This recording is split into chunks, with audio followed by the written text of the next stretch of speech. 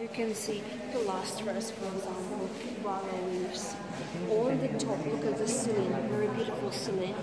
Different uh, muses or nymphs. Uh, they show you different kind of uh, deeds. So what people, person can do.